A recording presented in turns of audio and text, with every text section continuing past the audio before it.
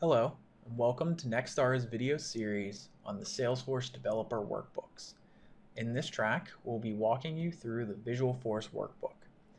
This video covers Chapter 1, Creating and Listing Visualforce Pages. What is Visualforce?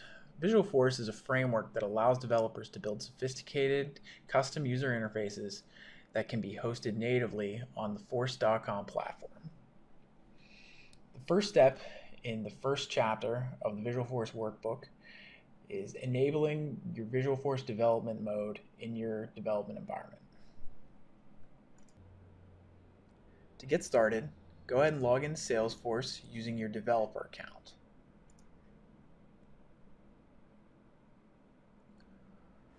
Once logged in, go ahead and click on your username and select My Settings.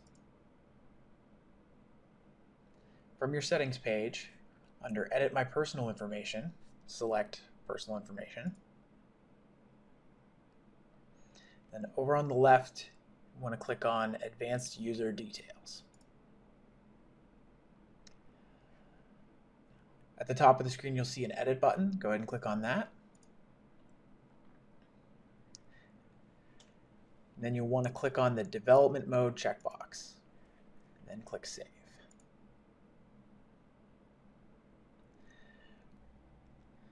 With development mode enabled, we're now free to create our own custom Visualforce pages.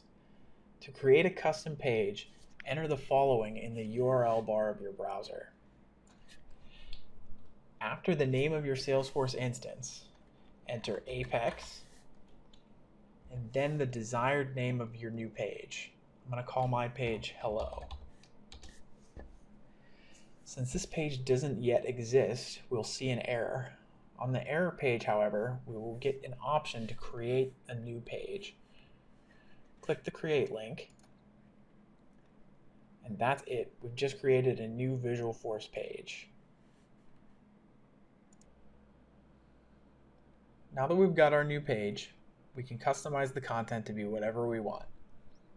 Down at the bottom of the page, you'll see a new toolbar. Click on the name of your new page to bring up the page editor. Page editor will show the raw content of the Visualforce page. Visualforce pages are generally made up of two kinds of elements, Visualforce components and standard HTML elements. To start, I'm going to change the content to say hello world.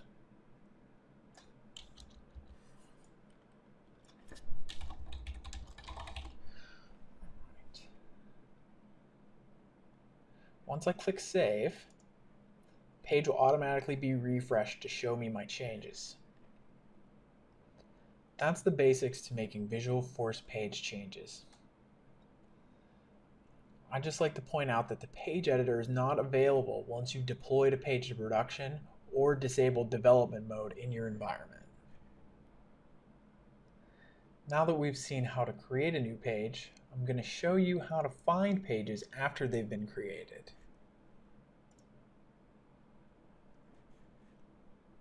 First, click on Setup at the top of the page. Under the Develop menu, click Manage Pages. Now you'll see a list of all the Visualforce pages you've created within your environment. In addition to acting as an index of all your Visualforce pages, this control panel also provides you with an alternative way to create pages. Click the New button, select the label for your new page,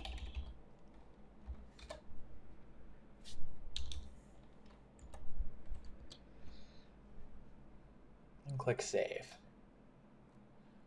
Now we've just created another new Visualforce page.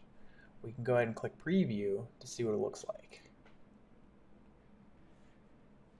All right, that about wraps it up for this video.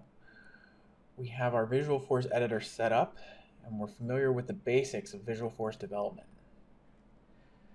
Now, in our next video, we'll cover Chapter 2, Adding Attributes and Using Autosuggest. Thank you for joining us. For more great content, click to follow us on Google+.